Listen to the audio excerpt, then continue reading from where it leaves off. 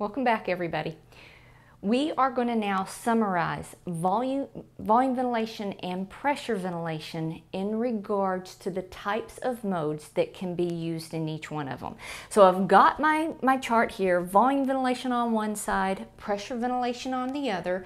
And in summary, remember in volume ventilation, we as respiratory therapists set the tidal volume because it's volume ventilation. So we set the tidal volume. That tidal volume will not change.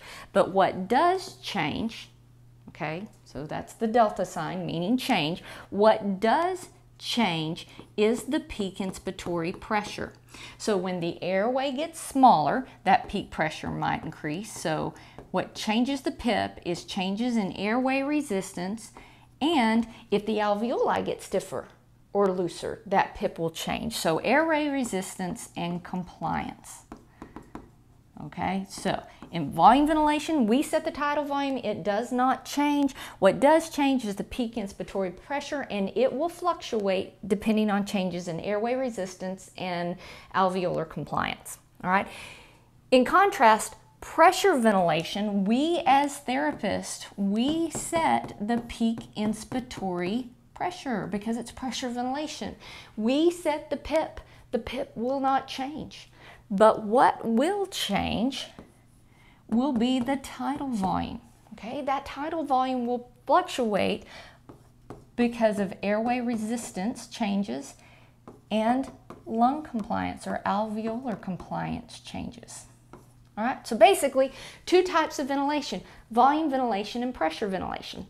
Now we've got modes of ventilation. In volume ventilation, we have CMV, we have AC, and we have SIMV.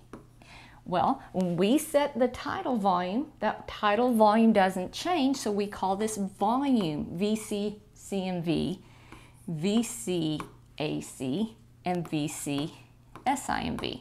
So really starting from the top, remember CMV, the machine does all the work. The patient does absolutely nothing. In AC mode, the patient can start participating by triggering a breath, but when they trigger a breath, they will get the set tidal volume. All right, and then in SIMV, we allow the patient to have even more ownership in the work to breathe. The patient can start breathing spontaneously between set machine breaths okay?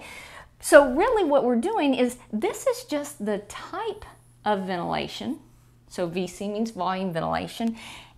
And this is how we allow the patient to interact with the ventilator. All right, so we have, you know, when we say VCCMV, we have a mirror component in pressure ventilation. We have PC CMV. We have PC AC, and we have PC SIMV. So when we say PC, what we mean is we're going to set the pressure. It won't change, but what changes is the tidal volume. And this part of it determines how we allow the patient to interact. So in PCCMV, the, the machine's controlling everything. The patient's doing nothing. In PCAC, we're allowing the patient to trigger a breath, but when they trigger a breath, they will get that set PIP because it's pressure ventilation.